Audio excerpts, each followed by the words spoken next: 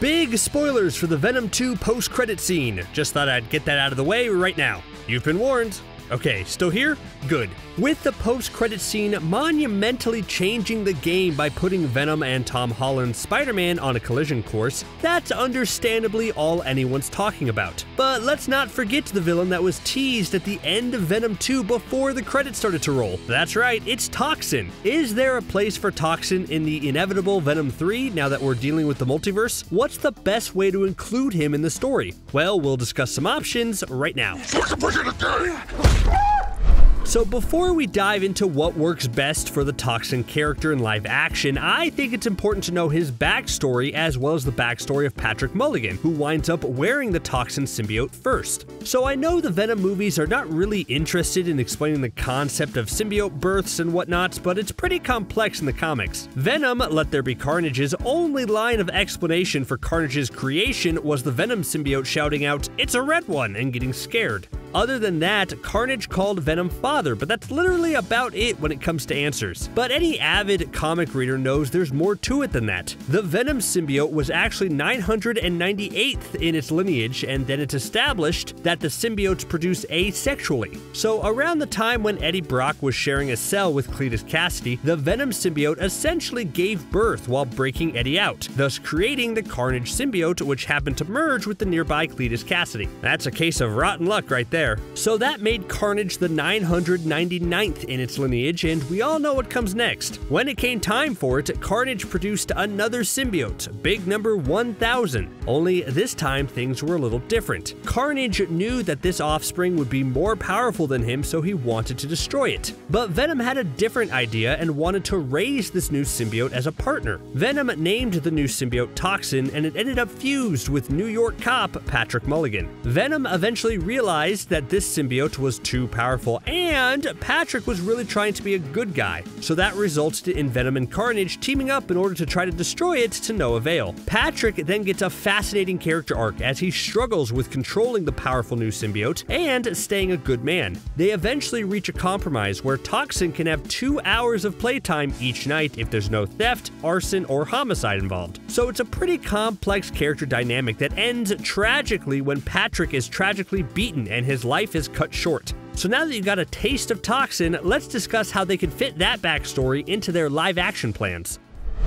So the big question everyone has after Venom Let There Be Carnage's game-changing post-credit scene is what exactly happened? Did the Sonyverse and the MCU merge together thanks to some multiverse shenanigans and now every character who was in the Sonyverse is now in the Marvel Cinematic Universe permanently? Was it just Venom who made the jump over? Remember, right before the big event, Venom was about to mind meld with Eddie to show him the secrets of the universe. Did that have anything to do with it? Is it permanent or temporary? So many questions are happening now that I wish the post-credit scene gave us a bit more than Venom licking a picture of Tom Holland, don't you? Well, let's say for this point that Venom's world and the MCU are now exactly the same. It brought over everyone in Eddie's life, which means Detective Patrick Mulligan, played by Stephen Graham, and everyone has to deal with this sudden shift in reality. Or maybe not. Maybe they can work out some sciencey mumbo jumbo and say Venom and Eddie still have all their memories of their timeline because of their psychic link and special symbiote powers. So that would mean anyone with a symbiote would remember the original timeline, and it just so happens that Detective Mulligan is now experiencing a change of his own.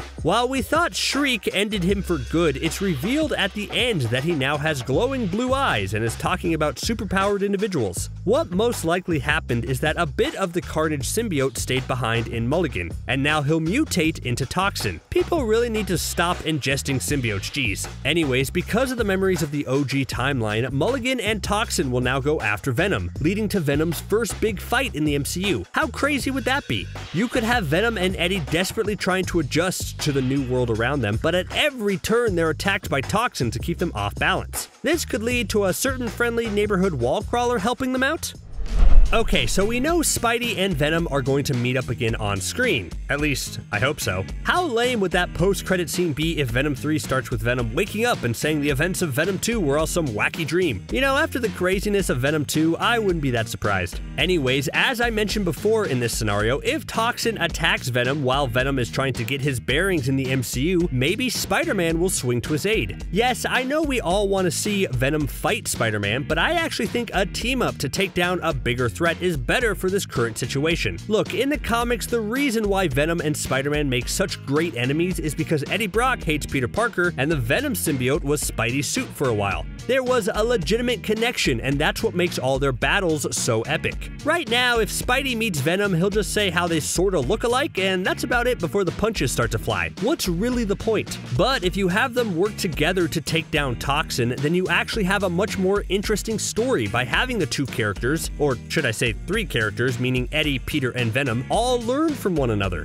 Venom and Eddie could learn more about being an actual hero. Venom 2 saw the pair take the next steps to officially become the lethal protectors, so the logical progression is them trying it out but not quite succeeding at first. Spider-Man could teach them valuable lessons and vice versa. Think about it. The big thing about Peter Parker's character is that he's a photographer for the Daily Bugle, but right now our Peter has shown no interest in that kind of work. Maybe being around Eddie will pique his interest in journalism and lead Peter to work closer with the Daily Bugle in the future. And then on the flip side, Venom could be so inspired by Spidey that he adopts the classic white white spider on his chest as he maybe makes a return to his own universe. More on that in the next point. Let's present another option here. We know Venom 2 ends with the Spider-Man tease, but what if that's all resolved in No Way Home? What if the events we're seeing in Venom 2 take place during the events of the MCU's Spidey's third film, and it all resolves itself at the end? If Doc Ock and Green Goblin are arriving from different universes, then why couldn't Venom, right? And chances are the end of No Way Home will end with things in some semblance of normal and the timelines more or less fixed. That means whatever Venom and Spidey confrontation is happening will happen in No Way Home, and then Venom will be punted back to the Sonyverse for its third solo movie. That's honestly probably the easiest way to do it. Look, I may get some flack for this, but I actually don't mind if they keep the Sonyverse and the MCU separate. I don't need a Spidey to fight this specific version of Venom. I mean, unless a lobster tank is involved, then I guess I'll watch. Anyway, by having multiverse shenanigans that more or less reset the status quo and send Venom back to his own separate universe by the time of Venom 3 would would mean we get more time with Toxin. Like, if we continue on this MCU trend, then there's no point to have Toxin included at all, which would be kind of unfortunate. So let's say Venom is back with a renewed sense of heroism for Venom 3 after an encounter with Spidey in No Way Home, but now he has to deal with Patrick Mulligan and his new symbiote Toxin. This immediately sets up an awesome conflict. Mulligan is obviously a cop who now has a serious bone to pick with superpowered vigilantes like Venom, but now he's granted the powers of the symbiote, and that clashes with his law-abiding tendencies. Meanwhile, Venom is trying to figure out the balance of being a hero in this universe outside the confines of the law. Picture it. Venom works off his own version of justice while Mulligan both tries to stop him and do his own type of police work with his symbiote helping. That's a great conflict and is actually rooted in a connection the two symbiotes share. One of the big flaws of Venom 2 was the relationship between Eddie and Cletus. They weren't similar at all, despite Cletus dropping that we're not so different you and I line that bad guys love to use. If they go with this plot, then you have a villain like Mulligan who's actually sorta similar to Venom. So my vote is for the last point I made, but let's explore some other options. We know that Venom 2 feels a lot like a love story between Eddie and Venom, so what does a romantic comedy sequel need? A new love triangle. That's right, could the Toxin symbiote actually be a romantic foil to Venom? I mean, it's possible. Venom and Eddie always seem like they're on shaky ground, and although they resolved most of their issues by the end of the sequel, could a brand new shiny symbiote actually give Venom a run for his money in terms of vying for Eddie's heart? Well, all I'm saying is that there's a slight comic precedence for this. There's an arc where Eddie merges with Toxin for a bit, and it goes really well for a while, with them even chasing down the Venom symbiote. Now, obviously, Eddie and Venom are OTP, and they'll end up together at the end, but a different way to highlight another symbiote battle would be presenting a symbiote that actually might be a better match for Eddie. What could Toxin offer Eddie that Venom can't? Well, besides being faster and stronger, maybe Toxin can actually cook breakfast and doesn't throw expensive television sets out the window when he's mad. Toxin is supposed to be one of the most dangerous symbiotes around. As mentioned before, he's the 1000th in his lineage, which makes him kind of a big deal. His speed, strength, and stamina are supposed to surpass Venom and Carnage, and he has a few added perks that help give him the edge. So will it be enough for Venom to beat him this time alone? Like, I'm disappointed that Carnage really didn't seem that much more powerful than Venom besides some added red tendrils. So if they're going to convince me that another symbiote is the way to go, then I really need Toxin to bring the heat. And I think it's a possibility. Sure, Woody Harrelson is one of the finest actors we have working today, but Stephen Graham, who played Patrick Mulligan, is a great actor as well. He was terrifying as Al Capone in Boardwalk Empire, so he can definitely bring the menace to play an all-time great bad guy. So instead of just having a fight where Venom overcomes a stronger opponent through luck and sheer force of will, how about a Sonyverse team-up? Yes, that's right, I think a Venom-led Sinister Six should fight Toxin. Think about it for a second. You know that's what the Sonyverse is building up to. We have Morbius coming down the pipeline soon, and then after that we'll have a not Quicksilver Aaron Taylor Johnson playing Kraven the Hunter. It would be a travesty if all these anti-heroes didn't meet up to take down a big threat, and Venom could possibly turn to these other anti-heroes for help in taking down Toxin once and for all. Toxin definitely deserves better treatment than Carnage got, and having him actually be a threatening big bad that multiple anti-heroes have to team up to stop would be epic to see. Plus, I want to see how well Venom can work with a team, don't you? I know the title of this video is all about all the ways that Venom could fight Toxin, and I think I've presented a few plausible options with a few more on the way, but I want to first talk about a slightly more comedic spin that could possibly happen with Toxin and Venom in the inevitable Venom 3. So if we look at Venom 2 as a bit of a romantic comedy where Venom and Eddie worked out their relationship and decided they wanted to be together, then the next step is children. Hey, when you have a solid relationship, why not throw a child in the mix for fun? Toxin is the offspring of Venom's offspring, meaning Venom's Toxin's grandpa. I want to see a situation where Eddie and Venom work to raise a new symbiote together, like co-parenting. So instead of three men and a baby, it'll be one man, one symbiote, and one baby symbiote. Hmm, that doesn't roll off the tongue as easily. It's a work in progress, okay? But with the creation of a new symbiote, Eddie and Venom might want to take it under their wing in order to stop it from going insane and stop it from wanting to eliminate and eat everybody in its path. Hey, that's a lesson Venom is still learning himself, so that would definitely be interesting to see. In this situation, Patrick Mulligan is the only wild card here.